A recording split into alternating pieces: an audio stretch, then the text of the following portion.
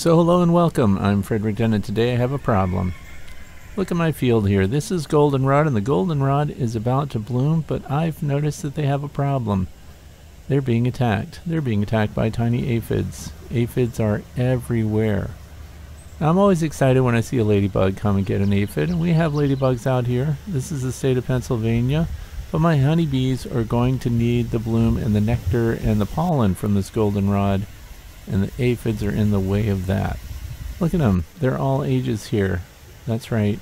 I'm going to take care of them with what else? Ladybugs. Ladybugs are the best way to take care of aphids, and here's why. This covers acres of land, by the way. So I bought some ladybugs. Native ladybugs, by the way, to the United States. There are a bunch of different species, so it's important to get the good ones. And as you can see here, I cut open the bag and released them so that these aphids could see their last day on my goldenrod and other plants. Obviously, they go after your garden plants too, so ladybugs can fly. They're going to go everywhere the aphids are. There's a lot of cool stuff here. Now that ladybug has already grabbed an aphid. Look at her. She wasted no time. I released these ladybugs right about 7 o'clock at night. A little windy, made it hard to make the video. But I want you to know that these ladybugs will, of course, reproduce. They do their mating in the spring, and since it's July already, they've already been mated. But the good news is they carry their eggs with them, and they'll be laying their eggs on the underside of leaves. So these ladybug adults that live about a year will be munching up to 50 aphids a day apiece. But it gets better than that because when they lay their little yellow colored eggs on the underside of the leaves and those hatch out in less than two weeks, they uh, will also come out and feed on aphids. And there are other ways to control aphids, but I prefer this one. And the reason is, look after, how active the ladybugs are. They go everywhere. They're going to spread out. How many did I turn loose? 3,000. Now it's a tiny number of ladybugs, but look at all these aphids. Have a big problem. So here's the thing, the ladybugs will reproduce, the number of eggs that they lay will be in concert with the amount of resources and food for their offspring. And so they'll rise and fall with the number of aphids and things like that that ladybugs eat. And lacewings and other things also eat aphids, but as you can see here, by the number of aphids that are on my goldenrod and other plants, whatever's out here now is not controlling them. And I don't use pesticides. I haven't on this property since the year 2000. So I count on natural controls and I had to bring these in. So if you want to know where and how you can get your own ladybugs if you need them, I put a link down in the video description. And then you can release ladybugs and let them control your aphids too. Look at these. This goldenrod plant is basically ruined.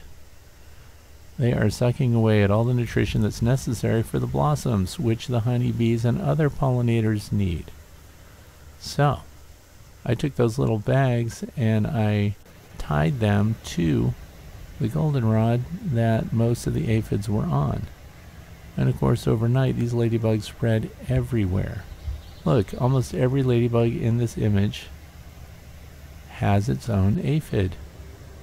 That's good news. And the aphids are just sitting there waiting. They don't know what to do. How can an aphid go from plant to plant? Well, if you notice, some of these aphids have wings and that's how they get around. In other words, when they're on a plant that starts to become exhausted and its resources are reduced, these uh, aphids will actually produce offspring that have wings, and then the ones with wings will fly to other plants, and then they'll start their other aphid colony on those plants too. So it's only fair that we put out predators of the aphids that also have wings and can follow them around. Guess what ladybugs do? They leave a pheromone on the plant after they've munched up all the aphids, look at that one just eating away on that aphid. Sorry, the wind was blowing. And uh, they leave their own pheromones. And then so the aphids, when they find plants that have ladybug pheromone on them, they avoid those plants too. So I understand people that raise roses and things like that have problems with aphids. I'm a big fan of biological control over chemical control. So if you're dusting, if you're one of those people that uses Sevin-Dust and all these other things, please reconsider because the only chemical that these ladybugs will leave behind is the pheromone that reduces the aphid appeal. That's good news. This little aphid just waiting to be eaten. Oh, that's terrible. Look at that ladybug right there. She's got an aphid and is eating it. Here's a bunch of aphids on another one. How many times can I say aphid? But I wanted to show you, look at that, look at the wings on these. The ones with wings can detach from the plant and fly to another one. And as I mentioned before, you ever see a ladybug open its wings? They flip up that outer shell and then their wings are folded and they flip out and off they go. And then they can follow the aphids to new plants and then they can chew them up. I took a pen light out here and tried to light these up a little better. Look at all the little flight capable aphids here. Not good. Now they think they're not noticed, but they are. It's only a matter of time before the ladybugs discover them too. And they'll start getting munched. Oh, there goes the ladybug in the background. That's not good news. It's like sharks circling. And there they go. Before you know it, ladybugs are all over these plants. I thought it would be interesting to show how the ladybugs move around, how they find the aphids, and there's one just grabbed an aphid right off the side and is eating it. So if you establish ladybugs in your area, hopefully you will stop, if you currently do use pesticides, you'll stop doing that. And instead, you'll add ladybugs to your environment. They will winter over in sheltered places, humus, under bark, and things like that. And then in spring, a whole new generation of ladybugs will begin again, and they will reproduce based on food availability, and you'll have your own biological control of aphids. Look how thorough they are.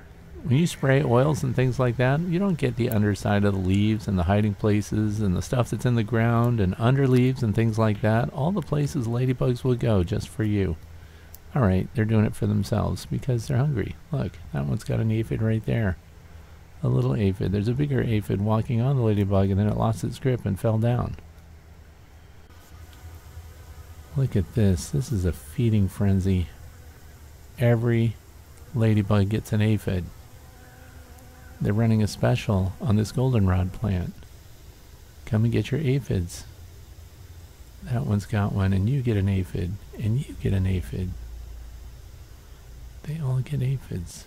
What do I have against aphids? Nothing, except that they're damaging my plants.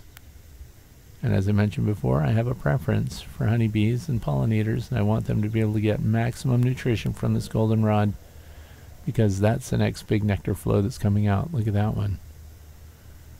That little aphid looks like it must have left the main stalk of the goldenrod and tried to escape on that leaf, and then it was tracked down by a ladybug and captured. The ladybugs are spreading out. And that one's got, oh good, it got one of the ones that has the wings on it before it can fly away. I took other video this morning, even, just at sunrise while everything was wet with dew.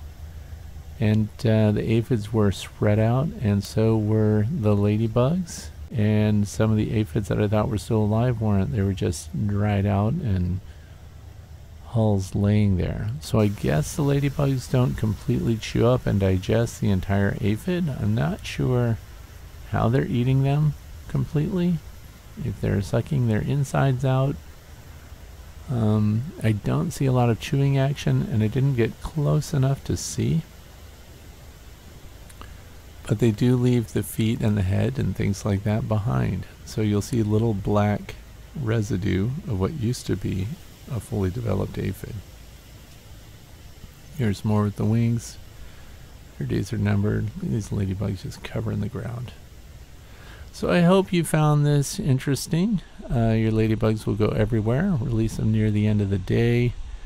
And then uh, before you know it, you've got your own aphid control. And as I mentioned, I came back this morning and I was having a hard time finding living aphids. And these ladybugs, of course, will reproduce and you'll have generations to look forward to in the spring. Thanks for watching. I hope you have a great day.